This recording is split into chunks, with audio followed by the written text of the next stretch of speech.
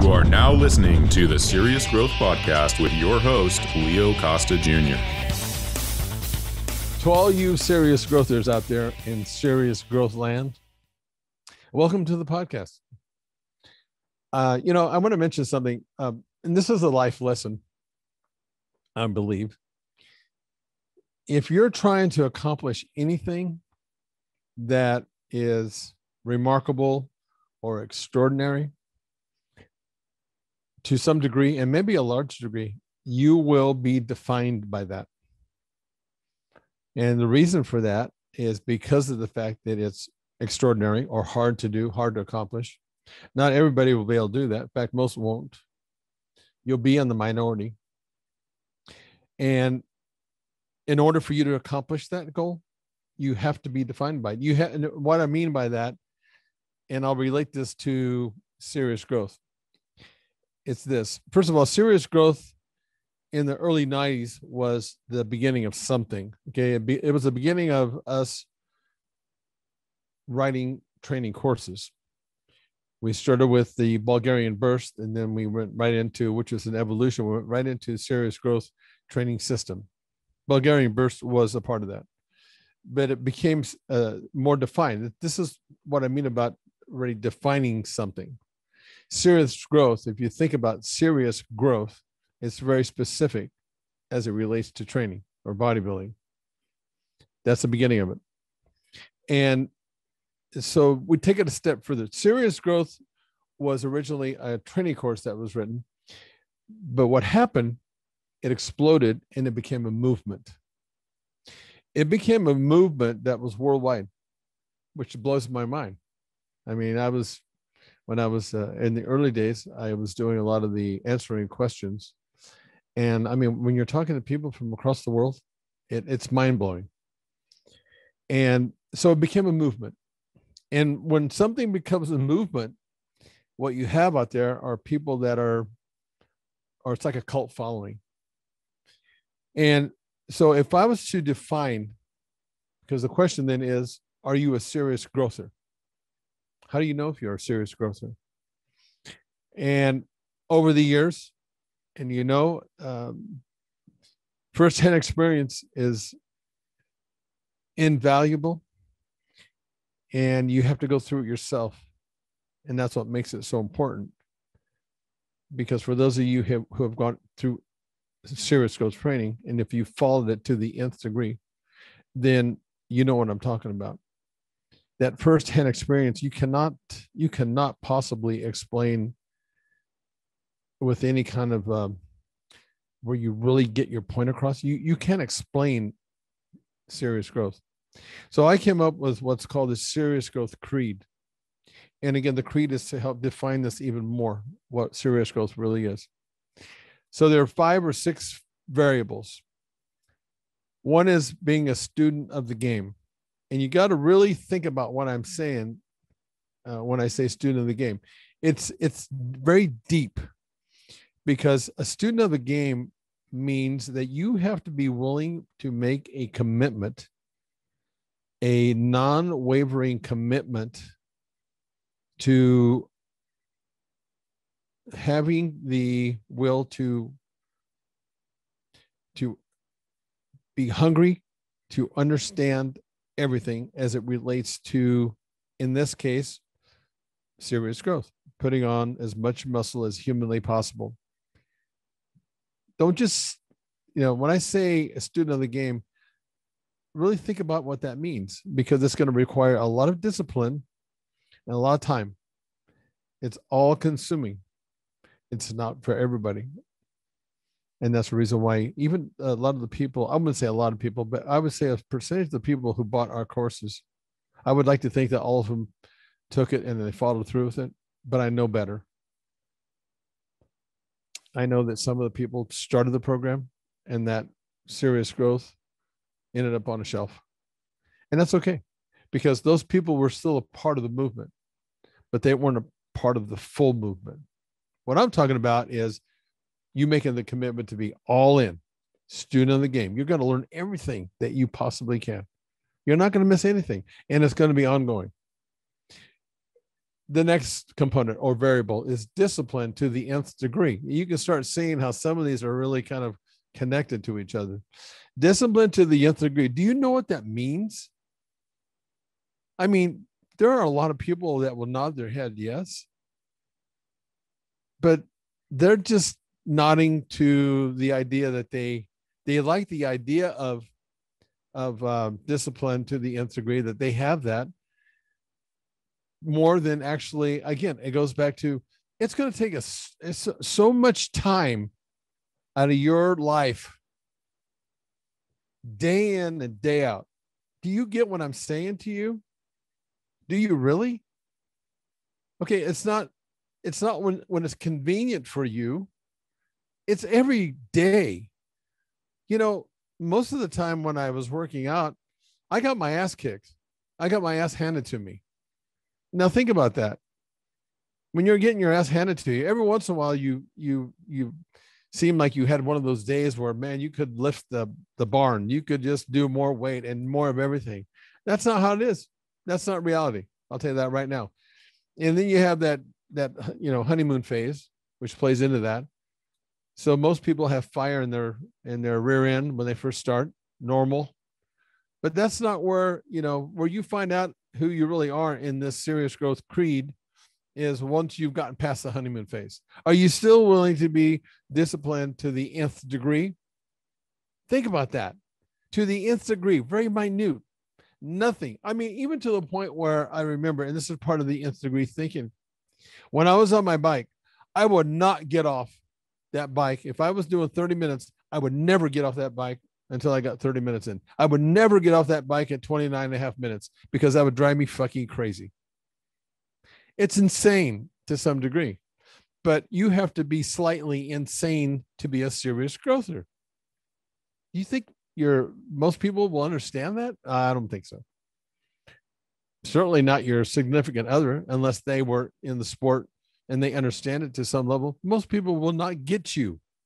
What's wrong with you? It's not normal. That's the kind of stuff you're going to hear. Okay. Next component of the serious growth creed warrior mindset. Again, you see how these are all connected in some way to each other. In order for you to go into the gym, think about this. In order for you to go into the gym, and as Tom Platz used to say, bodybuilders walk in fire the true ones walk in fire every time they go and they step foot into the gym. Can you really wrap your head around that? Uh, you're putting yourself through pain the minute, ideally, the minute that you walk into the gym to the time that you walk out. And if you're training, which you should be, 30 to 45 minutes, because that's what we recommend, so you don't overtrain. Can you imagine doing that day in and day out? Can you imagine doing that when you're when you have a headache, you're not feeling well, you're sick? I trained a lot of times when I was sick. It doesn't matter. That's not the stated goal is unwavering. Oh, did you really forget what the stated goal was? Let me remind you. It's to put on as much muscle as humanly possible. You can't walk away from that shit if you're not feeling well or if you're sick. It doesn't work that way. Are you still a serious growther? Never miss a workout. That's another one of the components. Never miss a workout. You know, do you think that's easy? I I trained when I was hurt. It didn't matter. You figure out a way to train. Is it healthy? No. Not supposed to be. It's not that sport. That sport, bodybuilding for sport to compete is not healthy. If you can't understand that and not willing to take that chance or risk because it is a risk, you're going to get it's not if, but it's when you're going to get hurt. If you can't take that risk and deal with that, I mean, I one of the times that I was getting ready for a show, you, you're putting all this time in to getting ready for a show and then 10 days out before one of my biggest shows, I pulled a hamstring. I mean, not slightly. The hamstring turned purple. That's how bad I, I pulled the hand. It popped. So what was I going to do? I'm not saying it's the it's normal and it's the right thing to do. But you when you have this mindset, the warrior mindset, it's dangerous because you override what your body is telling you. Your body is telling you you need to not train, you need to give yourself some rest. That might be the smart um, answer and what you should do, but not to a serious growther, especially when you're 10 days out. You're going to compete come hell or high water in the fucking story. If you don't have that mindset, don't do this. I'm going to say it again. Do not do this because it'll be really dangerous for you and you're going to be really unhappy. Well, guess what? That's part of the game. That's part of bodybuilding. Here's another component of, of uh, the serious growth creed repetition is the mother of skill. Think about that. And this is where so many people are missing the boat. I'm going to talk about um, as it relates to um, as it relates to repetition being the mother of skill. We're going to talk about warming up. Let's take a quick pause to tell you about something you are definitely going to want. Do you want a bone crushing grip? Good, because you're gonna get one with the amazing new TRS gripper. It's a progressive grip builder with longer handles and a special ergonomic design that's like a dozen hand grippers in one. Start off easy and work your way up to quickly build your grip strength from wet noodle to pulverizing. The package includes a video from the world famous strength coach, Dr. Russ Horine, the man who worked with Leo Costa to help bring you big beyond belief in the Bulgarian Power Burst. Dr. Horine shows you a simple and easy to follow workout plan that takes just minutes a day right from in front of your TV set if you want. So click on the link below and let's get started building you a stronger, firmer, bone crushing grip.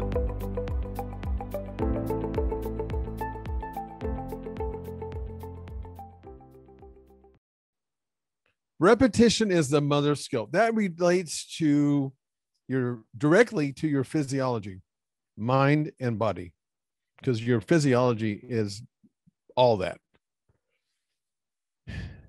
Your body by design it's designed to adapt to whatever you're teaching it. Repetition does that. Think about this for a second. When you're first learning something unless you're a freak of nature or it's something that's just really easy, unless you're when you start learning something new, you don't get it right off the bat. And how do you get more proficient at that? Well, you practice. Repetition, the mother of skill. That's it in a nutshell. So you are teaching your body how to do something, whatever it is. In this case, we're talking bodybuilding, but it applies, you can see, to anything that you're doing. Maybe you're learning how to do a yo yo much better. You're not going to do rock the cradle the first time out. And if you do, fuck you. I'm jealous. Mm-hmm. Kidding. But you, you see my point. Okay, repetition is the mother of skill. You're teaching your body what you want it to do, whatever that is. In this case, putting on as much muscle as humanly possible. The last component of a serious growth creed is question everything. Question everything. Now, why is that difficult? Because think about this when things are going really well, because you you want to okay the goal is putting on as much muscle as humanly humanly possible. You have to question everything even when it's going right. Because you want to understand because you're trying to understand things to the nth degree you want to understand how you're getting a result. Sometimes that means going completely away from the results that you're making at that particular time. Why? Because you're not going to settle for you're not going to get comfortable with your training because the minute you do, you're dead in the water. Think about that. You have to keep overriding. You have to eat, has, ask the questions how can I do this in a better way? And yet you might be at a point in your, in your, you know, the years that you've already put in that, you know, results are coming at a pretty good rate, but that's not good enough. You question everything. You're constantly going against what's normal. First of all, realize that putting on muscle on the body is not normal. It's abnormal. It's not what your body wants to do naturally. It does it out of um, in this case, when you're trying to put on muscle because you're pushing the body so far, it does it. It basically you're kicking in the fight or flight nervous system. It does it to protect you. That's the reason why if you don't work out, your body atrophies because it realizes, hey, I don't need uh, this muscle. When you put a cast on your on your body, your body shrinks up. Your body just it, it wants to work off minimal energy output. You're doing the exact opposite when you're training for for bodybuilding. So you can see that that serious growth creed going back to when I began this, I said, when you try to accomplish something really difficult, and I tell you what, from firsthand experience, putting on muscle is very difficult. And that's an understatement. It starts defining you. So those five or six components that we talked about are a definition of a serious growther. I want to finish up with this, and it pertains to the um, the serious growth creed, and it goes against popular thinking. I have no problem with that, especially when it's what I'm about to tell you is based on science. In other words, how your body works. Can't deny that. And I will tell you this warming up is a waste of energy. I learned this when I was over in Bulgaria. Those people, I've said it once and I'll say it again, probably on another podcast, if not even more than that. They were way ahead of their time because you see, they had the they had serious growth creed to a degree because they never settled for what the results that they were getting. They kept pushing for more and more. And what they learn, and this is out of the box thinking, and that's very difficult for people to do because it it you have to accept change. But what they learned, and I can tell you from firsthand experience, they were right. I was that guy that went over there thinking, "You guys are full of shit. You got to warm up. That's just the way it is." And to um, to question everything, which I did, I had to be open minded enough to take something that they were telling me, like I'm telling you, because it's kind of intuitive. When I tell you you don't have to warm up, you're thinking this guy's full of shit. You got to warm up. Why? Because we've always been told to do that. In athletics, think about like if you were an athlete playing, even like a young kid, you probably were out there stretching before you did something. We just grew up that way. That doesn't mean that it's right. Could.